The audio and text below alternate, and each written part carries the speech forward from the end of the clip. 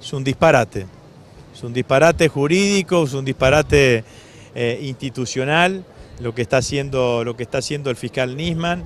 La presidenta de la Nación actuó en, en, plena, en pleno uso de, las facultades que le da la Constitución Nacional al jefe de Estado de tener eh, la posibilidad de realizar convenios con cualquier país del mundo o acuerdos con cualquier país del mundo.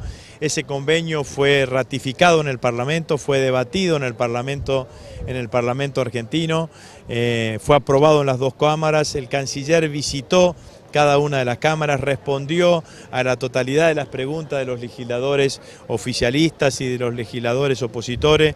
Nos cansamos de repetir una y otra vez que lo que buscábamos con el acuerdo era generar las posibilidades que el propio fiscal Nisman le tome declaración indagatoria a los ciudadanos iraníes que él determinó que son los sospechosos de, de haber cometido el atentado contra la AMIA, a sabiendas que el juicio procesal no avanzaba si no se generaba la instancia de la declaración indagatoria y a sabiendas de que la posibilidad de la declaración indagatoria según la ley argentina solamente es válida de cuerpo presente. Entonces lo que buscó la presidenta detrás de la firma de este convenio fue verdad y justicia, ir detrás de la verdad y de la justicia y que se pueda condenar claramente a quienes son o han sido los responsables del atentado eh, del, atentado contra, del atentado contra la AMIA. E intentar llamar a indagatoria a la presidenta de la Nación por un hecho de estas características, en donde la presidenta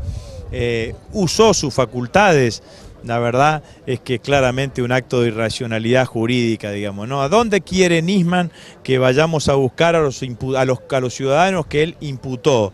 porque los ciudadanos que, a los cuales él iba a tomar declaración indagatoria son los ciudadanos que Nisman imputó. Los ciudadanos que Nisman imputó son los ciudadanos iraníes.